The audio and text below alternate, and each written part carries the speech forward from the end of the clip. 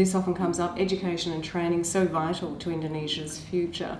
Australia keen to get in, and they've been pushing on that front for quite a, a while. Right. What role do you actually see Australian training providers and education institutions playing? I think one thing which we again have to be realistic, right? Um, the quality and the standards, and therefore the cost of Australian vocational training is very high.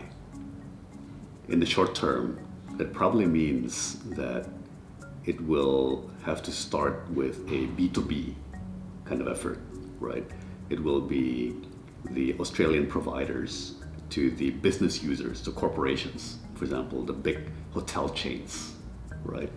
And the corporates will have to cough up the money, frankly, which is going to be not a small sum of money, right? Because going directly B2C, trying to go straight to the consumer, uh, I don't think will work. Um, President Jokowi has already instructed uh, the economic team in the cabinet to start creating a student loan system, basically an education credit system, but it's going to take time, right? Um, training and education is the perfect item to be bridged with credit, right? Because uh, if you do get an expensive and high quality education, your income will double, triple, or even quadruple. So you will have no problem paying back the loan over time.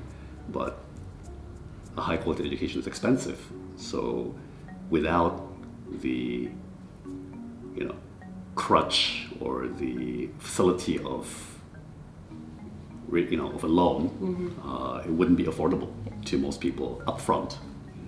Okay, so we, we could see, a, well, we will see a scheme potentially where Indonesian students will at least be able to have some form of funding for their education. I think it has to be. I think uh, my, you know, theory is that uh, it will be uh, the big corporate users, um, you know, hospital chains uh, for the nurses mm. and medical technicians, um, and big uh, hotel chains for the hospitality workers.